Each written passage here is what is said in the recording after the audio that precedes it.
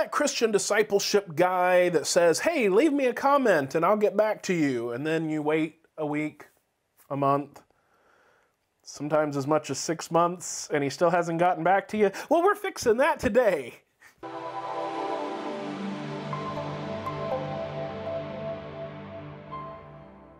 Hey guys, and welcome back to God's Word Made Simple by Simple Servant Ministries. My name is Aaron Hawk, and if this is your first time visiting with us, I just want to say welcome and thank you for joining us today. God's Word Made Simple is an online discipleship ministry dedicated to taking God's Word and making it simple. We want to help you understand God's Word, apply it to your life, and grow in your relationship with the Lord.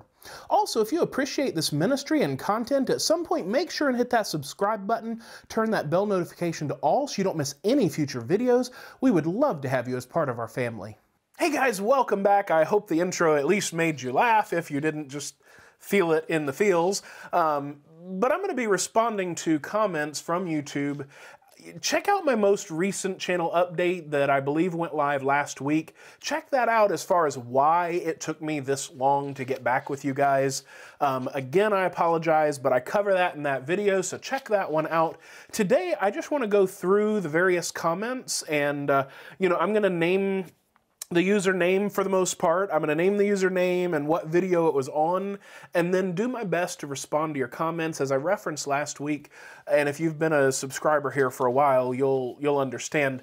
I tend to try to be thorough and as brief as I can, but also thorough, and take how long it takes me to talk things out and put that in writing it would take me forever to get caught up. So I appreciate you guys for sticking with me, and I, am going to use this as an opportunity to talk out my response to you guys, and then I'll go back in the comments and put a link to this video once it goes live so that you know, hey, that guy isn't just a jerk. He, he just had stuff going on in life, and now he's given me a response. And hopefully, this is even better than a typed out response. I know it will be more meaningful in terms of how I'm able to respond. So, with that said, let's stop talking about it and actually get to it. So, four months ago, uh, John Patterson, with some additional stuff, um, on a video how to talk to your kids about Santa Claus. I, I have to chuckle at that one because uh, you're watching it four months ago about Santa Claus. So I think that's interesting. I don't know, maybe you're thinking about it ahead of time, whatever. Um, but I, am not sure if this is a troll, a, like a little troll, or or if this person's being serious. I'm not sure, but I'm going to treat it as if it's somebody that's kind of being serious, but it kind of comes across as also venting. Um, so, how to talk to your uh, kids about Santa Claus. Uh, I think it was my most recent. I did two versions of that over the years. Um, we are well over 600 videos now. Um, so they, the person responded to that question: Should Christians believe or teach their kids about Santa Claus? They responded to that question: Yes, they should. Why do all you evangelicals want to take people's fun away? Uh, so the you there, obviously, this is an accusation because um, you're distancing yourself in the way that you're saying that. Um, I'm not going to hate on you for the misspelling. Uh, or maybe that, I guess that was probably on purpose. I didn't catch that before. Evil Jellicles. Uh, so yeah, you're definitely trolling a little bit then if you're bothering to purposely uh, throw that in there. But if you're asking that question, you didn't fully watch the video. Possibly not at all if you're trolling. You didn't fully watch that video if you're asking that question because I actually address that in that video. It has nothing to do with ruining fun. It has everything to do with a faith that is based on a God that, for the most part, we don't see, audibly hear, or physically interact with. And we're teaching our children that a Santa Claus that you don't see, hear, or interact with is real, and a Jesus who we don't see, hear, or interact with is real physically. Of course, we pray, there's the spiritual side, but I'm talking in terms, I'm, I'm speaking now in terms of a skeptic, the way a skeptic would word these things you're teaching them about Jesus, you're teaching them about Santa, and then at some point in your life, you're like, ha just kidding. I've been lying to you your entire life. In fact, I've been lying so much that I went above and beyond to provide presents and label them wrong and teach you wrong. And I even took you to the mall or wherever to go see this guy that's dressed up. And all of society has been lying to you But Jesus is real, I promise. Um, so to John Patterson, um, I seriously doubt that you are a Christian if you're asking this question, especially asking it this way.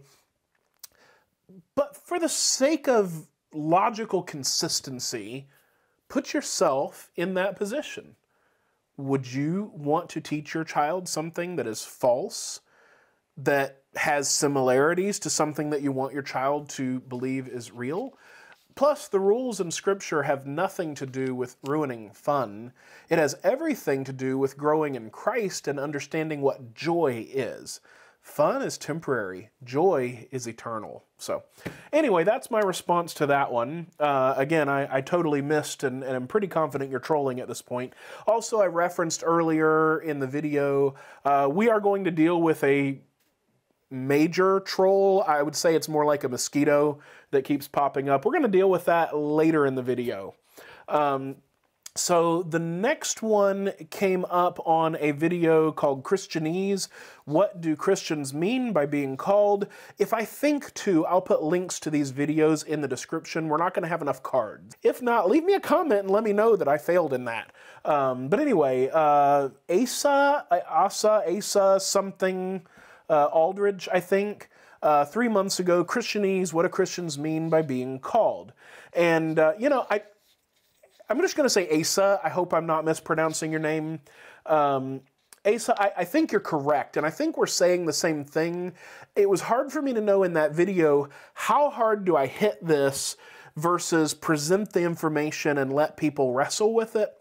And I struggle with that as every, I think every teacher struggles with that. How much do you just nail people with what you think is um, the best way to word it, or here's what you should believe, versus here's the information, and here's why I believe this to be correct, and then let people sort through it. Because if you just tell people information, they might remember it, they might not, they might accept it, they might not.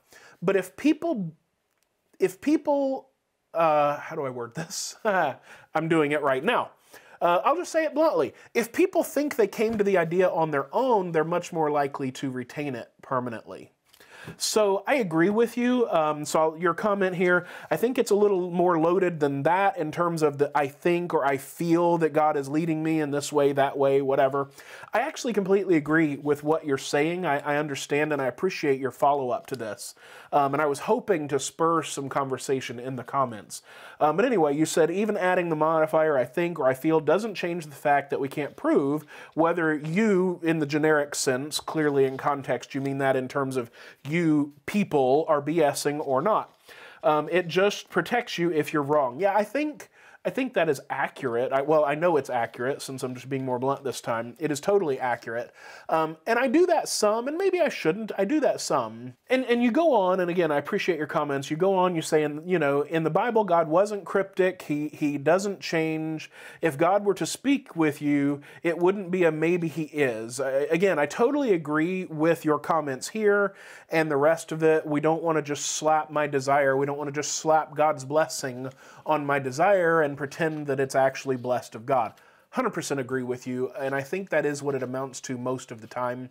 And I think, and I don't remember if I covered it in the video or not, I think people just wrestle with, you know, how much of being led by the Spirit, how confident can I be that something is the Holy Spirit leading me versus, uh, you know, the random thoughts of my mind. And I think that's what people wrestle with, and I think that's why they get stuck in this sort of a logical trap, if you will.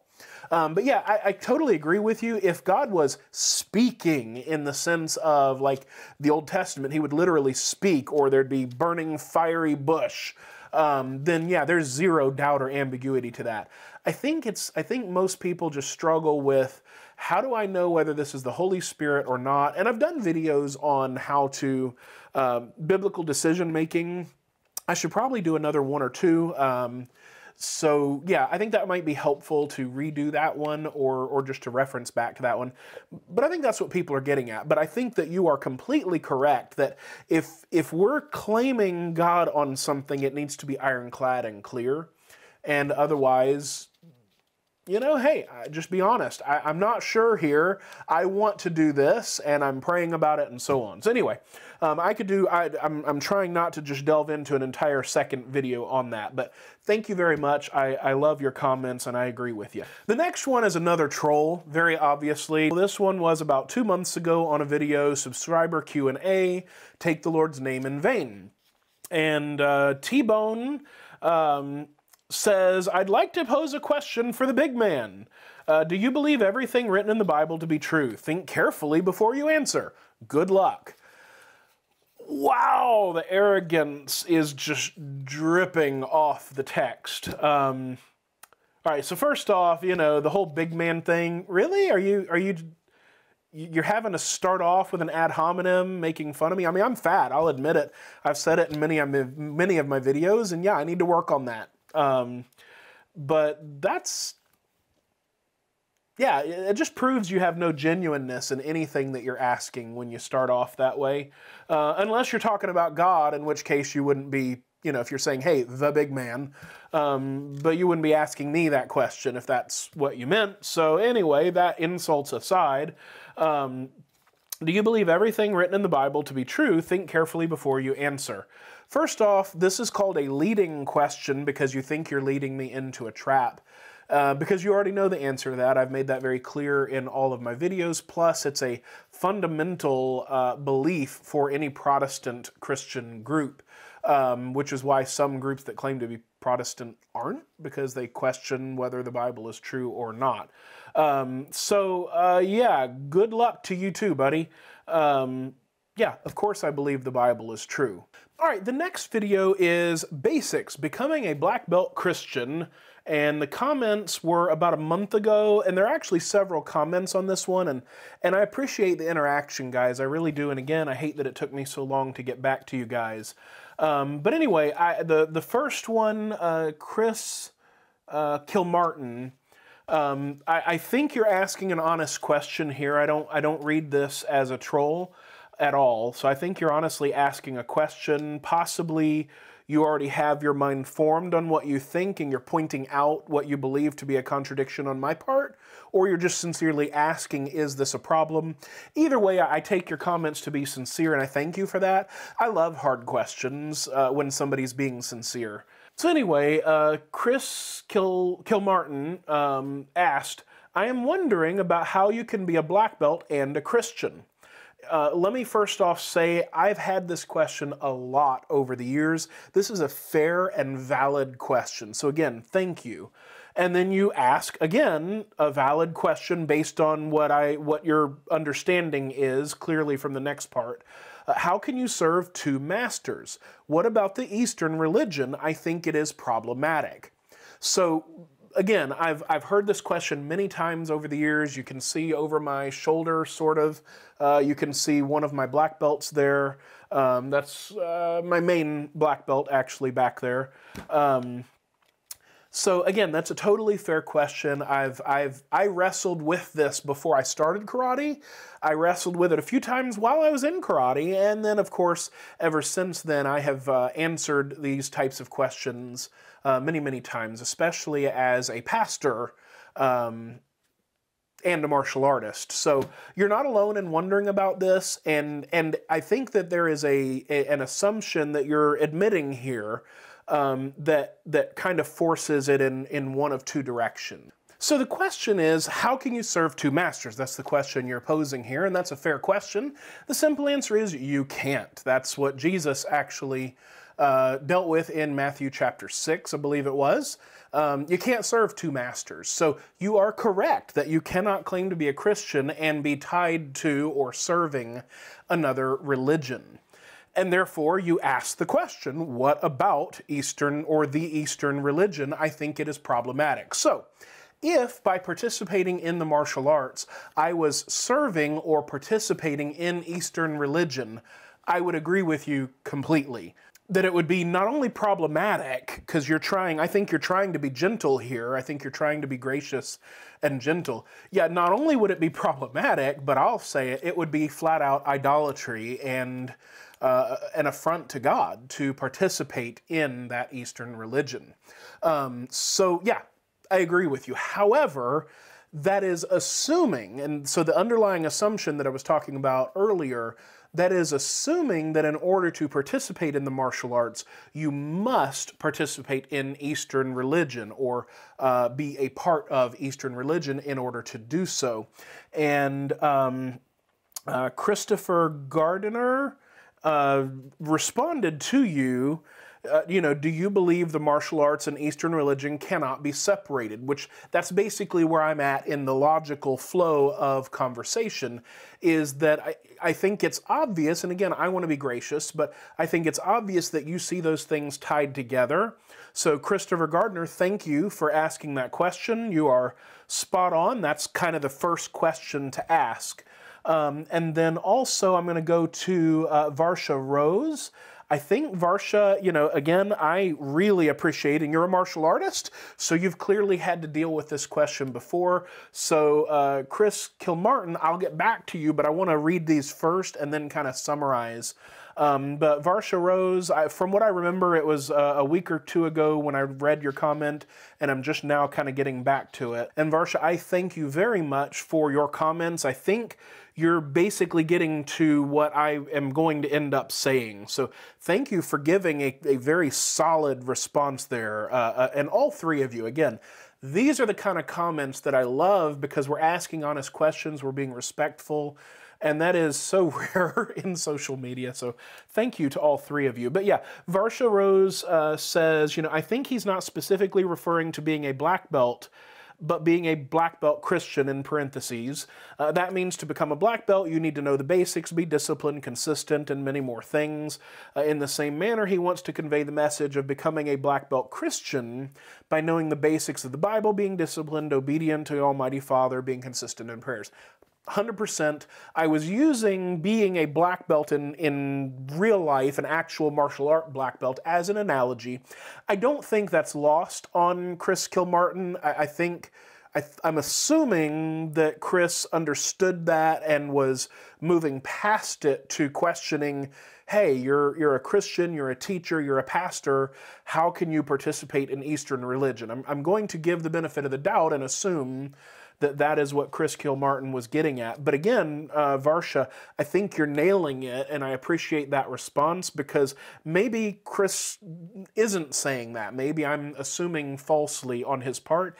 And for the sake of a full discussion, it's very important to point out that from a logical standpoint, I was using being black belt as an analogy that we have to have the basics in order to get to the advanced stuff.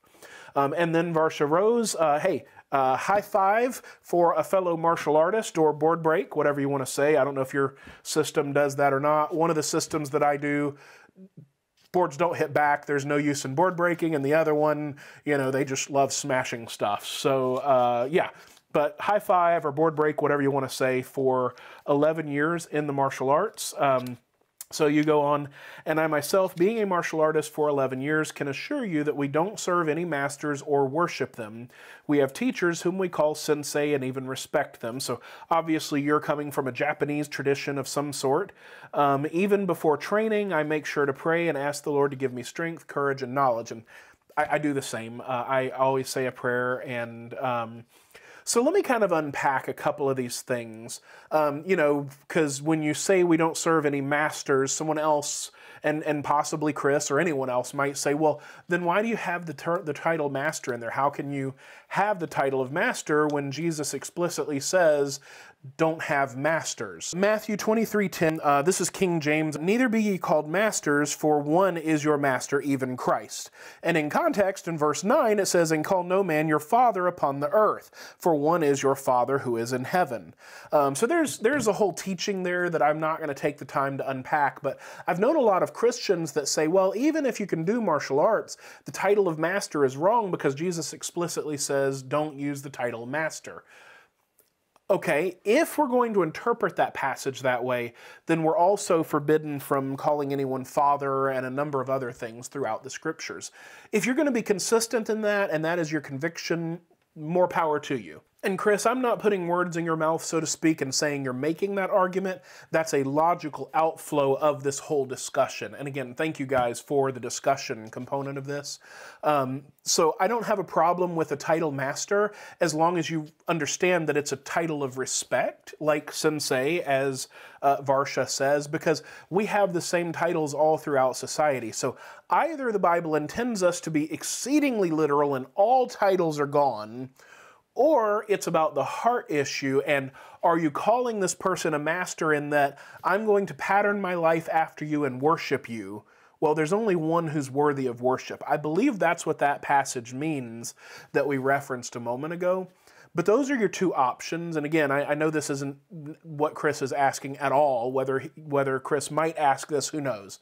But that's not what he's asking, or I assume he. Um, Chris can go uh, either way, so to speak. Um, but that's not what Chris is asking. Um, but yeah, so I mean, I have a master's degree. Technically, anyone with a master's degree is a master of whatever their subject matter is. That is their official title.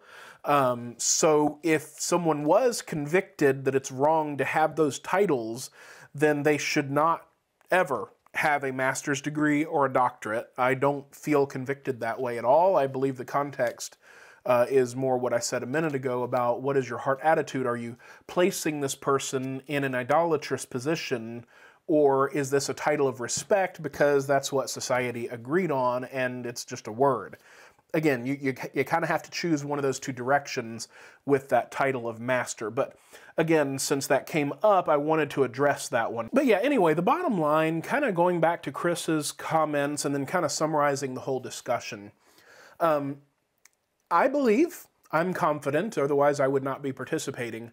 I don't think that there is a necessary connection between the religious side of martial arts and the Eastern religion. Now, there's no doubt that many of the disciplines of martial arts found their origins in Eastern martial arts. And there's zero doubt that a number of those Eastern martial arts were founded they were never founded on religious principles. Some people make that mistake. Uh, they were never founded on religious principles. It's that a way of defending themselves came out of a religious framework that we do not agree with and that the Bible explicitly says is not okay. So, again, the two masters thing, you can't have it both ways.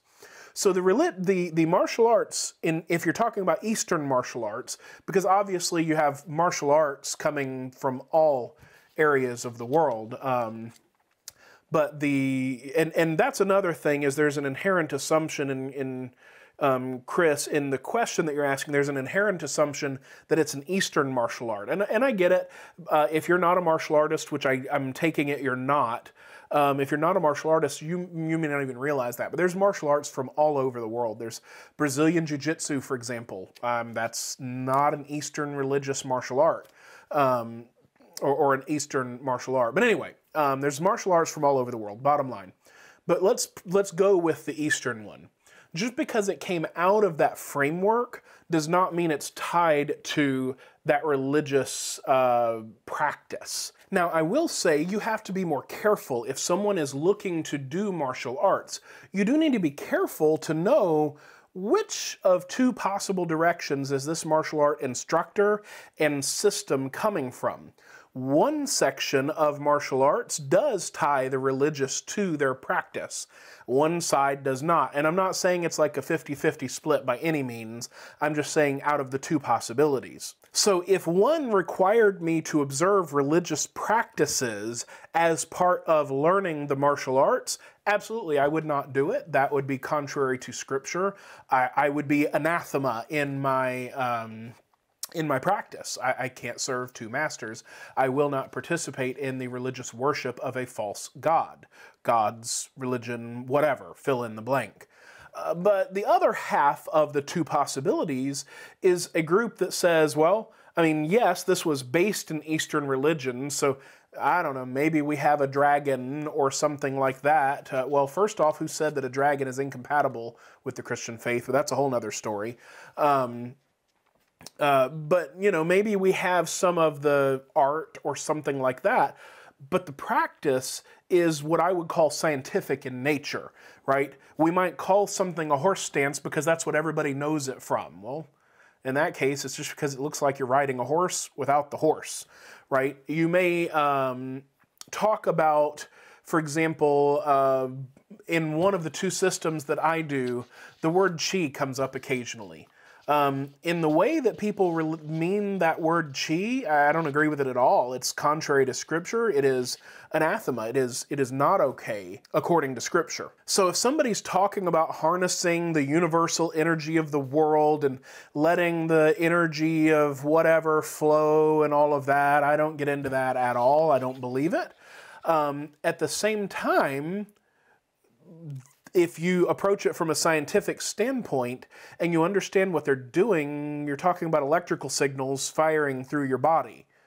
Well, that is energy. They just mean it in this mystic, kind of like a Star Wars sense, you know, let the Force be with you. Well, I don't agree with that and I would not participate in that. But if you're talking about electrical signals or loading up potential energy and then delivering kinetic energy, um, that's scientific. And, and now, granted, science has its own issues in terms of how science has become religious in many ways, too. Um, but that's just a fact of physical existence. So I don't have a problem with that if somebody's saying, hey, look, uh, turn your foot this way because it's going to allow you to have more power. I don't have a problem with that. And I, I don't know anyone that would if they if they didn't have a presupposition coming into it.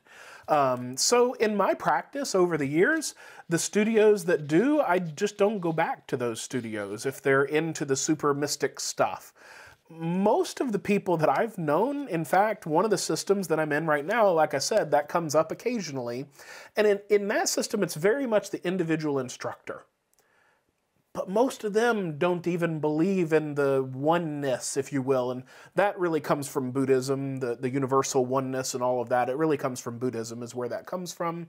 Uh, I don't agree with that at all, and frankly, most of them don't either. They've just been taught that that's how you explain it because Americans like all things Eastern for whatever reason. So anyway, I, there's an inherent assumption that the two have to go together, and that is a false assumption. But I think it's one that a lot of people have, and I don't blame someone for having that assumption. Now, whether that's true of Chris Kilpatrick or, or Chris Kilmartin, sorry, or not, I don't know. Um, but I wouldn't blame you if it was an assumption that you had, because a lot of martial arts, a lot of the public side of martial arts plays into that because, quite frankly, it sells. Um, but let me let me present another one to you, and, and some people do feel this way. Uh, is it wrong for a Christian to celebrate Christmas? Because the Christmas holiday, as we have it today, is largely pagan, right? It is unlikely that December 25th was the actual birth date of Christ. There's a raging debate among people who care uh, what day exactly it was. I'm not getting into that and the whole trees and lights and all of that, those were borrowed from pagan religions. So, can I not have a Christmas tree and put lights on it? And I'm not being sarcastic, I promise I'm not. I'm, I'm saying that it's the same thing, that sometimes you separate the origins and the practice because what it means to most people today, Christmas as an example, what it means to most, well, actually, what it means to most people today is it's a chance to get in debt, spend money we shouldn't, and have a lot of decorations and eat and drink way more than we should. That's what it means to most people today. But to most practicing Christians that celebrate Christmas, let me word it that way, we just like the tree because it's pretty and that's what we've done since childhood. And if that's all we're putting into it is, I like the pretty tree and it's my family's tradition, I don't see a problem with that anywhere in Scripture. Now, if I start praying to the sun god or something as part of my practice of Christian uh, or of Christmas, then yeah, clearly we have a problem at that point. So I don't know if that helps or not, um, but the bottom line is that the martial arts in most places today is taught from a scientific uh, or, or physics perspective, not from a religious perspective. And Again, even a lot of the ones that do incorporate some of the religious elements, if you will, most of them don't really believe that part of it either. So Um, you know, again to uh, Christopher Gardner and uh, Varsha, thank you guys so much for your comments, and I appreciate you. And please uh, continue giving um, that kind of uh, feedback. And Chris Kilmartin, thank you for that question. Um, I, I, debated whether or not to address this subject ahead of time or not, but I figure I have a tendency to go long on my videos anyway, so maybe I shouldn't. Um, so thank you for asking the question because I think it's an important one. Please let me know if this was an adequate explanation, if that helps. And if not, let me know and I'll follow up either in text or maybe another video. Um, but again, thank you so much for your comments and questions. Um, okay, so the next one is from Varsha Rose, I think. Yeah, uh, okay, boom, there we go. Okay, so the next one is from Varsha Rose. Uh, I didn't realize that when I was reading comments before, so that's two comments from you. Awesome, thank you very much. Uh, you asked the question, do people still make altars to God in this generation in Exodus 20? And this is on the Walk Through the Bible, Exodus 20, 22 to 26 video. Um, so there's a couple of different directions that I can go. I, I have sort of a context for who you are through your comments in the previous video, um, but even just the statement by itself, I think I have enough to understand kind of where you're coming from in this question. There's two ways to go on this question. Do people still make altars to God in this generation? You could mean this in the literal physical sense of altars. Like, do people still physically make an altar and practice their religion at this physical altar, like a stone or wood or something like that. Or you may be asking the question more generically, like a spiritual altar or something like that, which then would slip into idolatry. And so technically both of those could and would lead to a form of idolatry. So let me approach this from three directions first. I know I said two just a second ago. Um, so the first thing is a lot of churches still use the term altar in terms of their building. You know, uh, the altar call, as it's known in many um, Protestant denominations, at the end of the service, and this really this came from the great revivals. Billy Graham kind of made it famous, but it really came from the great revivals. The altar call.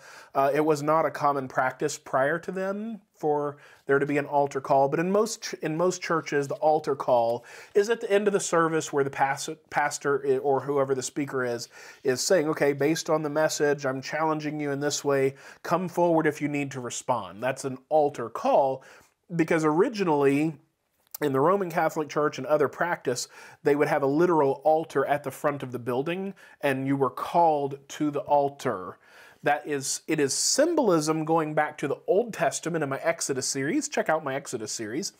Um, it's actually symbolism of people coming to the physical altar where they would sacrifice an animal, the literal altar in the Old Testament where they would sacrifice an animal, and sometimes they would hang on the horns of the altar or something like that.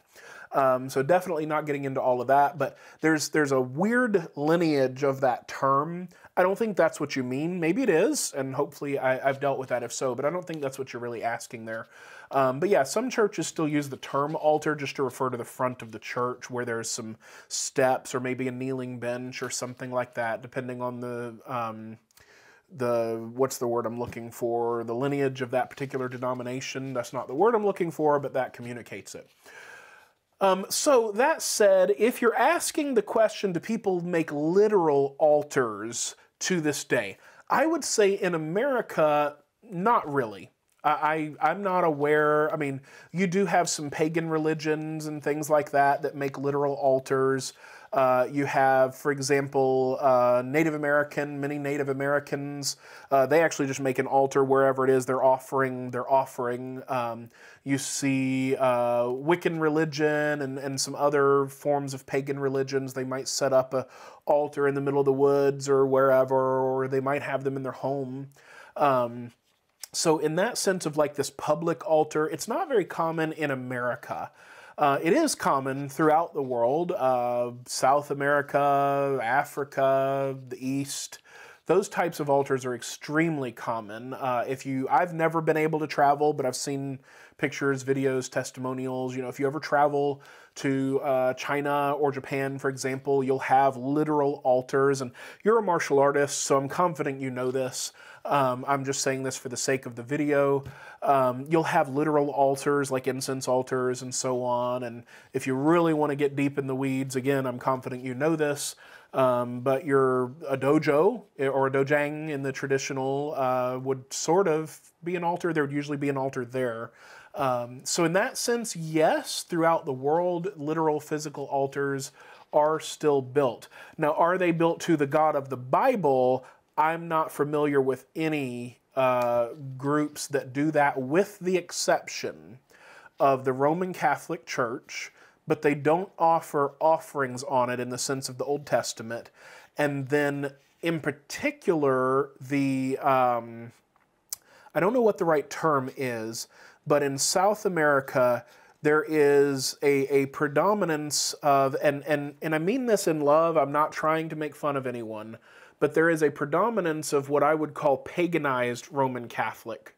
Uh, in South America, where it's a, a blending of pagan religion and what they remember of Roman Catholic teaching.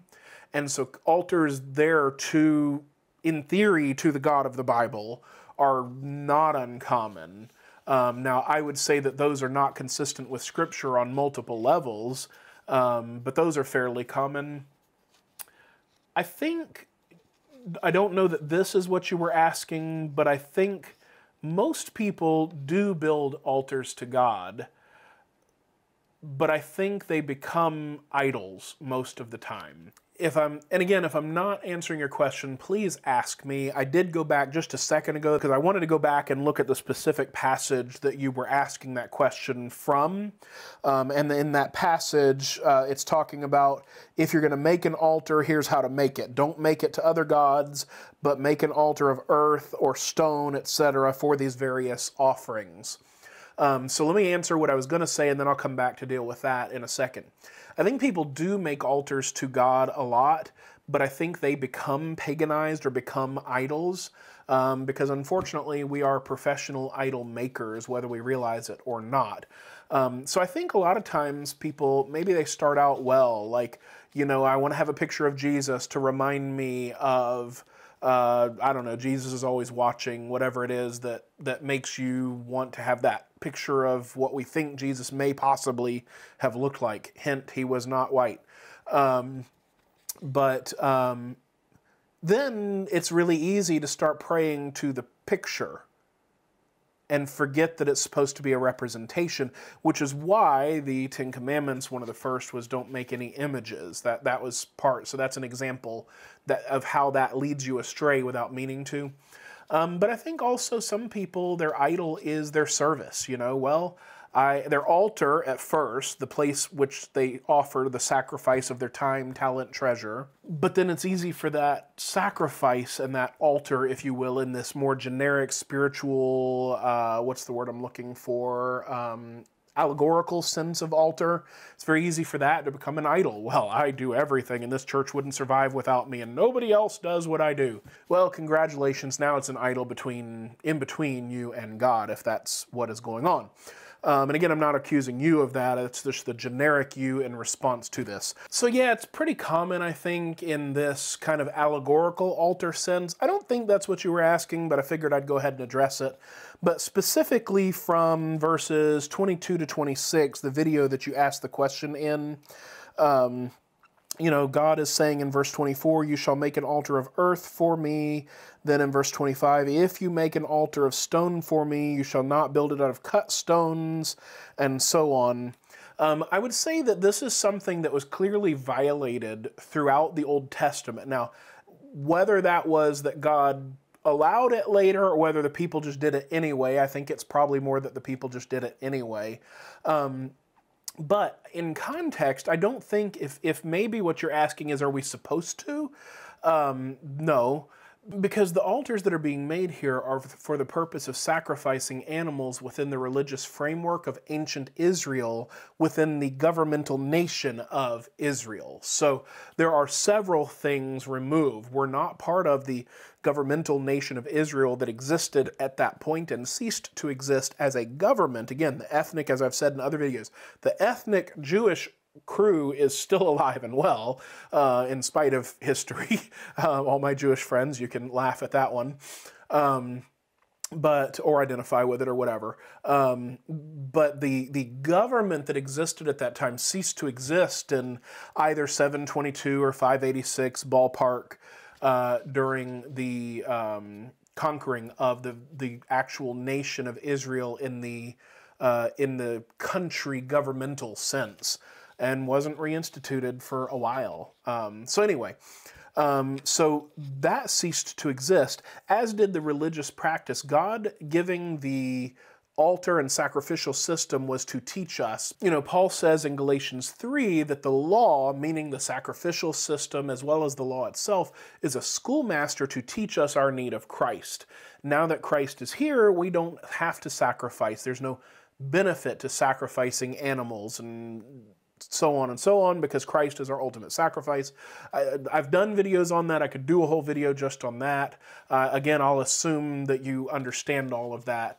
Um, so, no, in the modern day, we don't need to have a literal altar in that sense. So, I've spent a lot of time uh, answering questions that you may or may not have even been asking but I hope that helps, and please shoot back at me. I probably completely missed the point.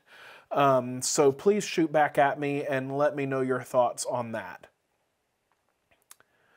All right, the next one is on two videos actually from the same person commenting. Uh, Emma Farrell, if I'm saying your name correctly. If not, please forgive me, but you have no idea how encouraging. I could have just given a quick response to this one, and several people that you gave me an encouragement, and I did just give you a quick response. I wasn't trying to ignore you.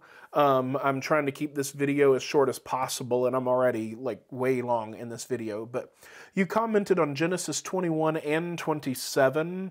Uh, this is beautiful and uh, love these videos. And and I just want to say thank you so much to Emma for your encouragement and to all of you that give me encouragement. I have a few subscribers that are really, they just, they're consistent encouragers. You know, I have others that are just kind of random encouragements. But guys, you have no idea how much that encouragement means to me.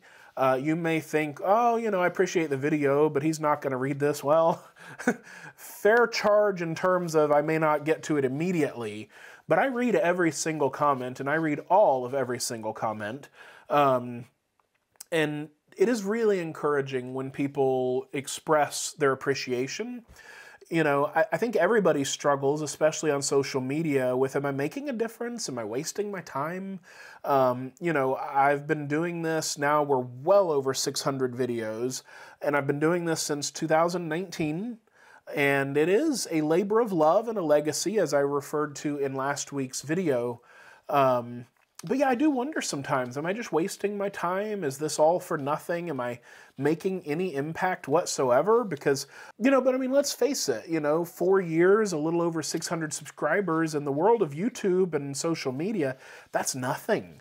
Um, that, that, that's, that basically means you're not really reaching anyone. Now, that's not literally what it means, because obviously people are interacting, watching, and so on. But as a, as a content creator, or really what I am as a discipler, someone who loves to share and teach, um, it is discouraging to not see that growth. But welcome to life and ministry, right?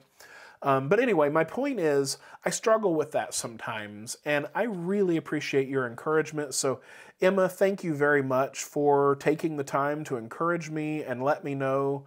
Um, you know, Sarah Chadwick on my Proverbs, uh, Walk Through the Bible, Proverbs 20, 16 to 21. You know, you are also giving me encouragement, and in your case, you're giving me specific encouragement by saying you didn't understand six, verse 16 until now again, any encouragement is appreciated. Most people hear the negative instead of the positive. That's just the way the world works. So that encouragement helps, but also letting me know specifically what helped. I mean, right now I kind of make videos like, ah, I think people might want to hear this, so I'll make a video on it. But I don't really have a lot of feedback on specifically what is helping people. Well, as a discipler teacher, I, I want to help people where they need the help. So I really appreciate you uh, letting me know that. That is uh, very much appreciated. Um, top production on the Proverbs 6, 1 through 5. Same thing. God bless you and thank you for the encouragement. And I'm probably missing someone. I know I gave a couple of quick replies. So again, thank you to all of you that give me encouragement. It really does mean a lot. It really does when I log in and check comments and I see that people are interacting and appreciative or people that have genuine questions, that encourages me and that's what kind of fuels me to keep going beyond just the drive to ultimately to please God and also to hopefully leave a legacy because there will come a day whether sooner or later there will come a day where I will not exist on this earth and if Christ has not returned whatever that looks like um, then I won't be here and others will, and I hope to still make an impact for the kingdom of God at that point. All right, so for the next one uh, is for Johnson Bob 720, dealing with the subject of karma on my video, Karma, Can You Be a Christian? Um, I actually recorded a video response to all of the comments in a separate video and as I started thinking about it and as I was praying, I just felt led to take that video down. It technically it went live for like an hour or two, but I just I wanted to make sure that later on when I'm dealing with the troll that I'm doing so in a way that is honest, blunt, but also honoring to Christ. And so I ended up taking that video down. But uh, in that video, I did give a response to uh, Johnson Bob, and I don't think, I think that I did a decent job responding in that video. So we're gonna cut in just a second to that response, but I'll be in a different shirt because I was recording on a different day, so don't let that throw you. And thanks to the magic of editing, with a snap of my fingers, we'll be in that video. Okay, the next one is on a video, and I knew this would be a uh, controversial video, um, but a video that I titled Karma, Can You Be a Christian and Believe in Karma? Um, and again, as I said before, it's been quite a while since I've recorded that video, much less listened to it, to remember exactly what I did or didn't address in that video. Um, but Johnson Bob 720 commented, you know, Christians believe in karma as a matter of course. I agree with you. The argument that I know I was making in that video is that they shouldn't. Um, and then you go on to say karma is mentioned many times in the Bible. And I'm, I'm going to put a hard stop there. Respectfully, I'm going to put a hard stop on that. Karma is not mentioned in the Bible. In fact, I'm, I don't remember exactly what I did or didn't address in the video now, but uh, that's a problem because a lot of people think that it is.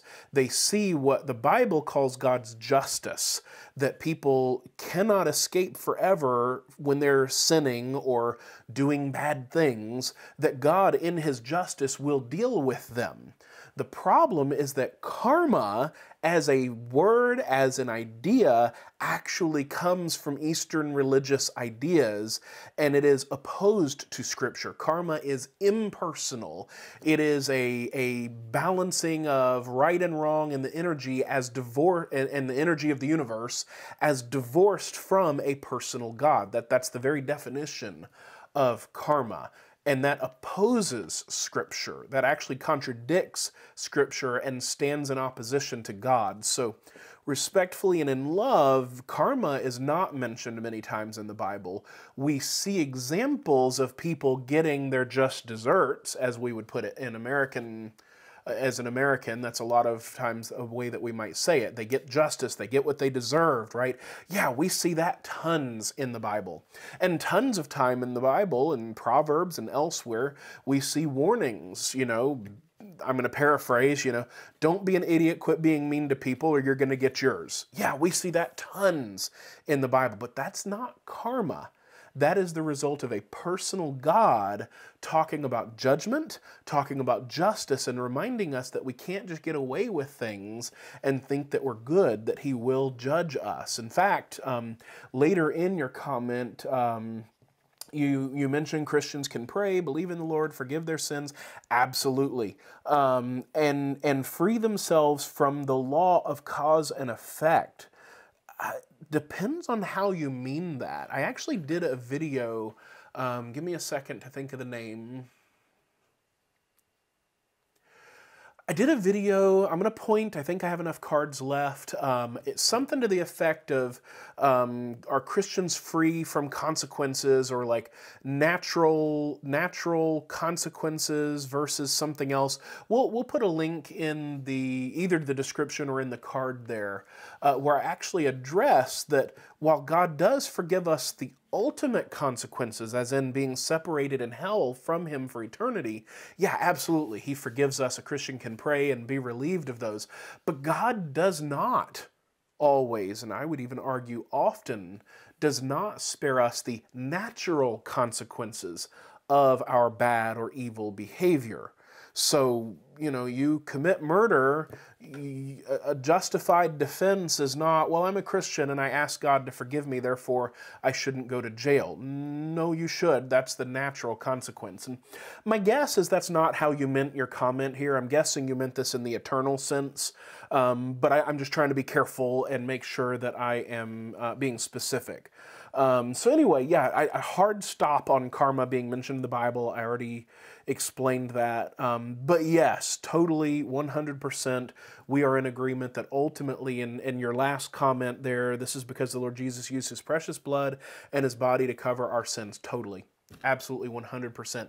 I think I think part of the problem is that the phrasing karma has become so common in American culture and unfortunately the church instead of influencing culture the church in America has been influenced by culture. Instead of the church acting upon culture, it's allowed culture to act upon the church. And because of that, the language of karma has seeped its way into church language. And that is unfortunate because, again, it stands in direct opposition to God. Karma is an impersonal balancing of right and wrong. It's, it's, it's specifically not connected to any personal being or God. It is a universal law out there in the energy of the universe. Those are Far Eastern uh, philosophies that contradict and, and are opposed to the scriptures. And unfortunately, that is very, very, very common to hear that in the modern church. I'm, you know, just over 40 years old and I look back to what I would call old shows, like I Dream of Jeannie. You know, I, I like that show. Uh, some of you will think it's cheesy. Some of you will be horrified that I watched it. Um, but even then, okay, I hope that was helpful. Welcome back from the blue shirt video back to the gray shirt video.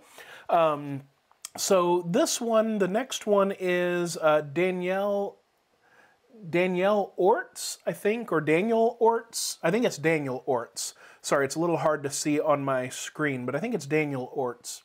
And this is on the video Walk Through the Bible, Exodus 32, 15 to 35.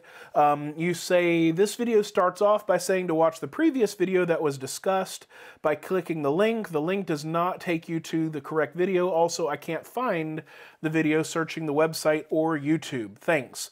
Uh, Daniel, rock on, man. Thank you so much for pointing that out. I cannot fix it if I don't know it's broken. So first off, thank you for watching um, and, and being part of our little family here on YouTube. Um, thank you so much. I will check into this as soon as I am done with this video today or tomorrow. I will check into this and see where that video is if I can't find it, I will have to re-record that video um, because it's possible somewhere between me and editing and all of that, it's possible that it got taken down or deleted or maybe we never uploaded it. It's also possible that I thought I recorded it and didn't. I, I doubt that happened because I usually keep pretty detailed records, but uh, yeah, I will figure out what's going on and I will let you know. I'm going to give you a response to your comment as soon as this video goes live. And if I need to re-record that video, then I will do so and let you know that as well. Thank you so much. All right, next up is uh, informal greeting on the video basics becoming a black belt Christian. So this is another thread on that video. Um, and unfortunately, you, well, fortunately and unfortunately, unfortunately, you are sandwiched uh, with our troll there on that video. But thank you for stating the obvious and for, uh, you know, sticking up for us or sticking up for the Bible or whatever your motive was. Uh, bravo, high five. Uh, thank you very much for your response because, as I said in my most recent uh, update video, I've had a lot going on, and uh, you know, it's it's good when someone is uh, spreading nonsense for others to call them out on it in a loving and appropriate way, and you did. Um, so thank you so much to Informal Greeting for uh, your response. Um, so the question from the troll was, when did God ask you to regard the Bible as His word to you?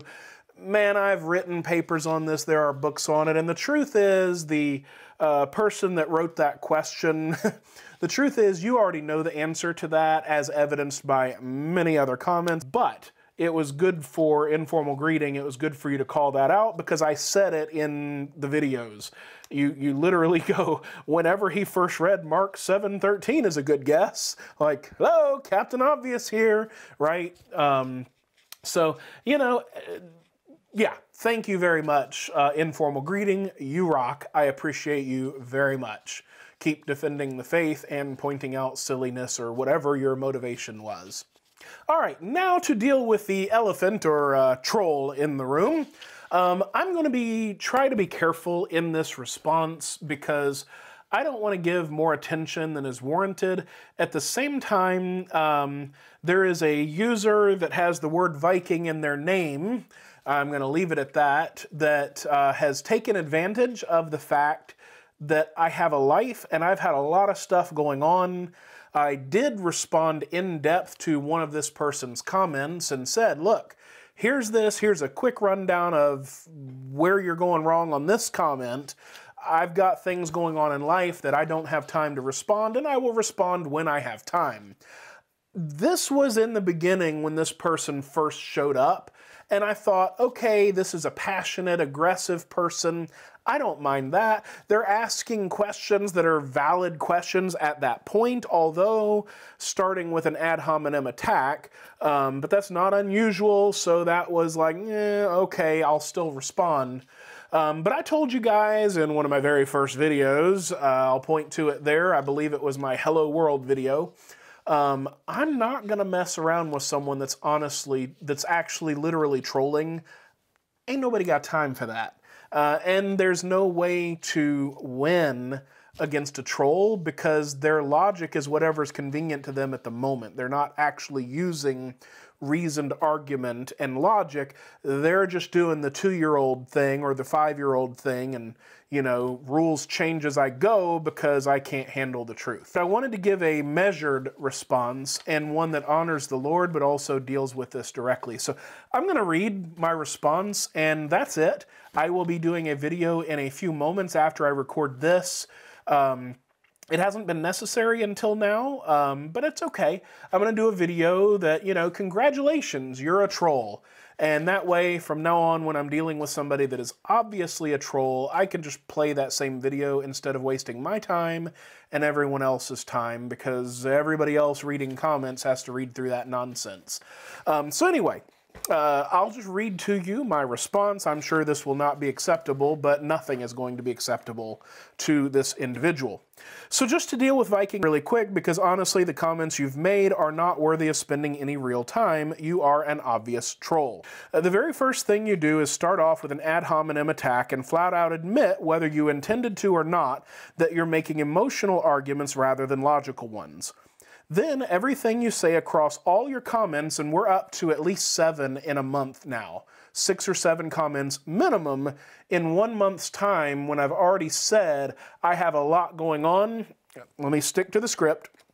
Uh, then everything you say across all your comments contradict each other. For example, at one point you say there are 66 books in the Bible, but then elsewhere you start quoting Enoch as if it's one of the scriptures within the Bible. In one place you claim that the Logos that you believe in is the Stoic version, or essentially the Stoic version, but then in the next sentence you tie Logos to Jesus. You can't do that because the original understanding of Logos was an impersonal concept, and tying it to Jesus is both personal and and specific, which is exactly what made the opening of John so powerful. All the readers of John would have been nodding, yeah, Logos in the beginning, Stoic, separate. And then John made it personal and they'd have been like, hold up now, right? Um, so, yeah, that's exactly what made John's opening so powerful. Then your whole entire argument centers around the scriptures not being God's word, and yet you try to lambaste me with the Isaiah passage saying that I'm going to be judged of God based on the passage of Isaiah. Whoosh, you missed it, as they say on Reddit. In my opinion, that's the very definition of an internet troll. Someone who is simply seeking attention, thinks themselves an expert while demonstrating a complete failure to grasp the subject matter, and then whines when they don't get the attention they desire. You seem to think that peppering comments in every video possible somehow makes you correct, and in particular, you routinely make comments to the effect of, since you haven't responded, it proves I'm right and you're just scared to answer. As the meme says, you truly have a dizzying intellect. But if at some point you decide to ask real questions and have real dialogue, I'll re-engage. In the meantime, I don't have time for trolls. I have time for skeptics who want honest discussion, and that is not you based on the comments you have made so far. Okay guys, that's it for today. If you appreciate this, hey, let me know in the comments. Is this a good format when I get really backed up and I just can't keep up with everything? Uh, like I said in my most recent update for the next year, uh, I'm to be pretty busy. Um, so let me know in the comments, is this a good format? If I can't get to you, do you like this? I would love to do live videos at some point so that we can actually dialogue back and forth. For example, Varsha Rose, her, her question or comment on the Exodus 20. I feel like I'm totally missing what you were asking there, so I spent forever trying to give you an answer, hoping I stumbled across it. I, am just missing it, I'm sure. So whoosh to me on that one. Um, but anyway, uh, yeah, let me know if you appreciate this this format when when I have the ability. I'd love to do live at some point. Um, but yeah, anyway, that's it for today, guys. Thank you very much, and God bless.